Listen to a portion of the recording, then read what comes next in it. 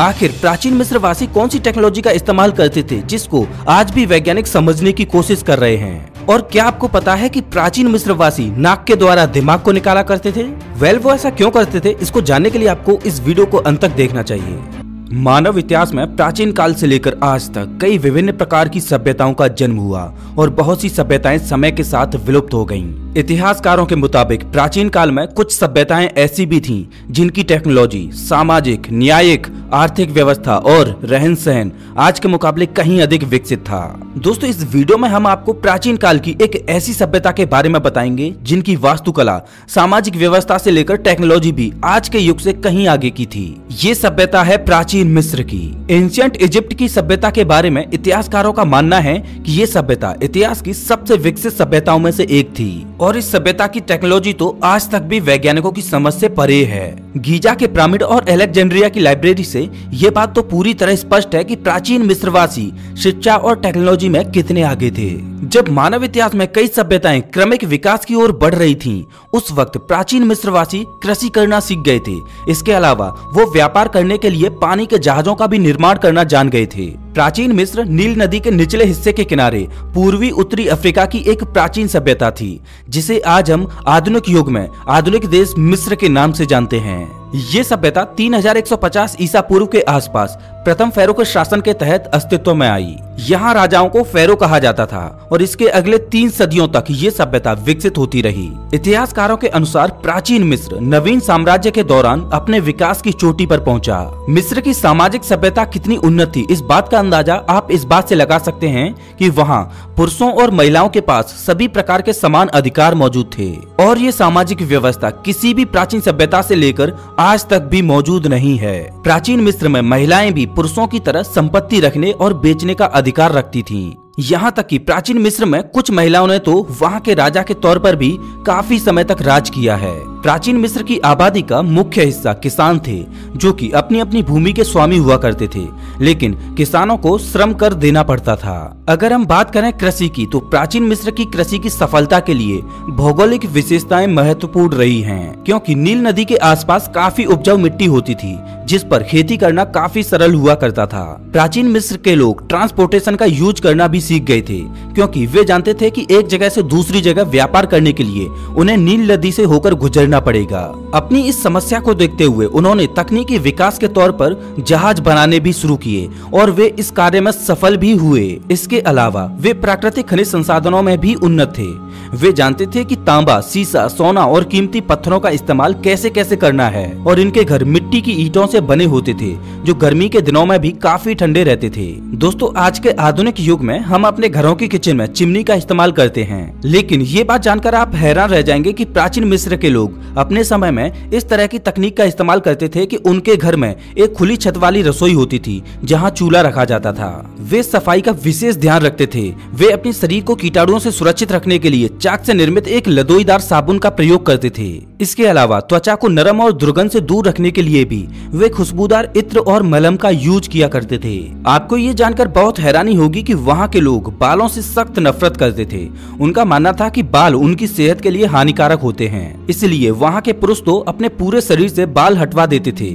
इसके अलावा मिस्र की सभ्यता के लोग सुंदरता को भी अधिक महत्वपूर्ण मानते थे। इसके अलावा यहाँ के लोग अपने दांतों को विशेष रूप से साफ़ किया करते थे। इतिहासकारों के मुताबिक आज हम जिस टूथपेस्ट का इस्तेमाल करते हैं, वो भी प्राचीन मिस्र वासियों की खोज का ही एक हिस्सा है। आपको ये जानकर हैरानी होगी कि आज आप जिस बियर को जानते हैं, उस बियर की खोज भी प्राचीन मिस्र वासियों ने ही की थी। यहाँ तक कि प्राचीन मिस्र वासियों का मुख्य आहार रोटी और बियर ही था। लेकिन उस बियर में अल्कोहल की मात्रा बहुत कम हुआ करती थी।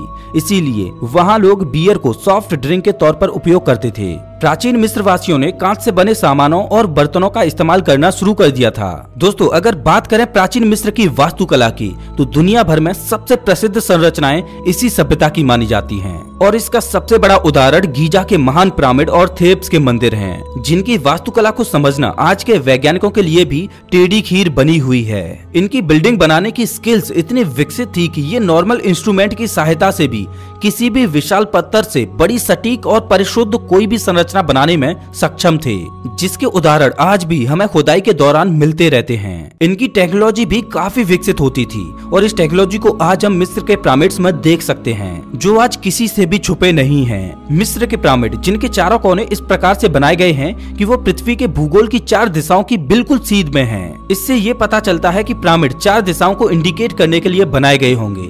और इसके अलावा ये पिरामिड तीन विशेष तारों की सीध में बनाए गए हैं। हो सकता है शायद ये प्राचीन मिस्र वासियों को समय का ज्ञान कराते होंगे, क्योंकि 21 जून के दिन दो पिरामिड्स के मध्य से सूर्यास्त होता है। इस बात से समझा जा सकता है कि प्राचीन मिस्र वासियों को गणित और ज्यामिति में महारत हासिल थी। और आज हम इस बात पर गुरूर करते हैं कि आज हम कितने आधुनिक हो गए हैं। बल्कि अगर उस दौर की सभ्यता से आज हम अपनी तुलना करें तो शायद आज हम इतने विकसित नहीं हैं जितने की प्राचीन मिस्र के लोग हुआ करते थे। क्योंकि वो लोग प्रकृति के समीप रहकर ही विकास की ओर बढ़े, लेकिन हम आज प्रकृति से दूर जाकर विकास की ओर बढ़ रहे हैं। प्राचीन मिस्र के लोग तकनीकी के साथ साथ धार्मिक रूप में भी परिपक्व थे। वे लोग परमात्मा और पुनर्जन्म में काफ़ी विश्वास रखते थे। उनके पुनर्जन्म में विश्वास करने के सबूत आज भी हमें मिलते हैं और ये सबूत हैं शवों की मम्मी बनाकर उन्हें दफनाना। दरअसल प्राचीन मिस्र के लोग मरे हुए लोगों के शवों को मम्मी बनाकर दफनाया करते थे, क्योंकि वे लोग ऐसा मानते थे कि मनुष्य की आत्मा एक शरीर छूटने के बाद दूसरा शरीर धारण करती है और उस व्यक्ति का पुनर्जन्म होता है। इसीलिए वे मरे हुए व्यक्ति को मम्मी बनाकर एक तख्ते में बंद करके दफनाया करते थे।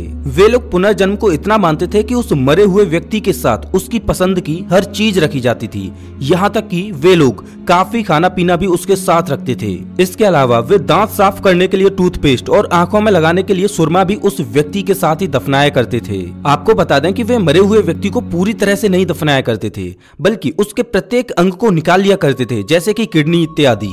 यहाँ तक की उस व्यक्ति के दिमाग को भी नाक के द्वारा निकाल लिया जाता था और बस उसे दिल के साथ ही दफनाया जाता था। कुछ लोगों का मानना था की मनुष्य सुख दुख की सभी प्रक्रिया अनुभव करता है और वो ये अनुभव दिल से करता है। इसीलिए दिल के साथ ही व्यक्ति को दफनाने की प्रथा थी, क्योंकि प्राचीन मिस्र वासियों को दिमाग की ज़्यादा समझ नहीं थी, इसीलिए उन्होंने दिमाग के बारे में जानने के लिए ज़्यादा प्रयास नहीं किए, केवल उन्होंने अपने आप को दिल तक ही सीमित रखा।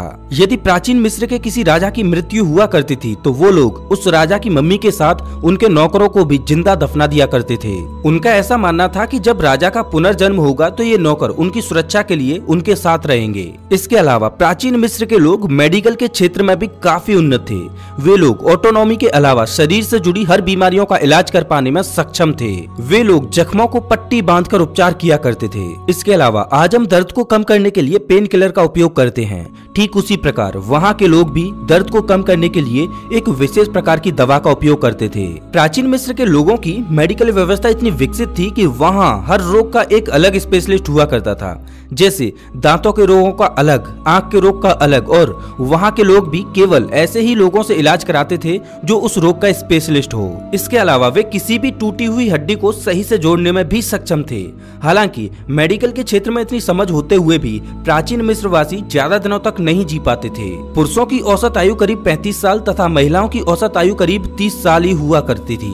हालाँकि वहाँ के लोग खाने में मीठा खाना अधिक पसंद करते थे और इस वजह से प्राचीन मिस्र की आधी से ज़्यादा आबादी डायबिटीज़ की शिकार थी। और इस बात का पता खुदाई के दौरान मिली मम्मी से लगाया गया है। प्राचीन मिस्र के लोगों को आज भी कई उपलब्धियों के लिए जाना जाता है, जैसे कि उनका कंस्ट्रक्शन और टेक्नोलॉजी जिसकी सहायता से उन्होंने विशाल का पिरामिड मंदिर और ओब्लिक्स के निर्माण किए। उन्हें गणित की भी अच्छी समझ थी। एक व्यवहारिक और कारगर मेडिकल टेक्नोलॉजी सिंचाई व्यवस्था और एग्रीकल्चर के दौरान उपयोग होने वाली टेक्निक मिट्टी के बर्तन और कांच प्रौद्योगिकी और साहित्य कला में सबसे उन्नत सभ्यता के रूप में जाना जाता है। इस सभ्यता के बाद आई कई सभ्यताओं के द्वारा प्राचीन मिस्र की प्राचीन वस्तुओं को दुनिया के कई कोनों तक ले जाया गया। मिस्र में आज भी बहुत से ऐसे राज छुपे हुए हैं जिन पर रिसर्च करना अभी बाकी है।